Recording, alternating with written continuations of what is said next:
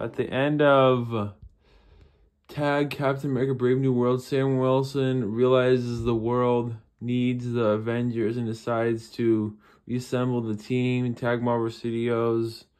And here is uh, Sam Wilson, Captain America right here. This is Marvel Studios, Captain America, Brave New World. But I, I am so excited to see that. I cannot wait to see Sam Wilson reassembling the Avengers. But yeah, just don't forget to please subscribe, like this video, and have a great night. And come back next time for more. And please subscribe, like this video, and have a great night. And see you guys. Bye. And so much for watching. And see you guys. Bye.